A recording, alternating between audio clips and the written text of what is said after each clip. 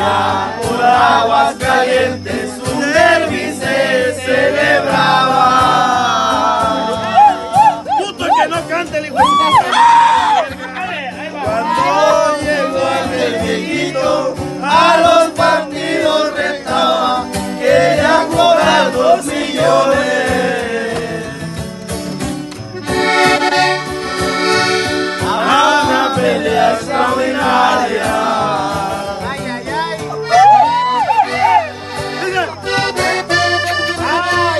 Costa, el do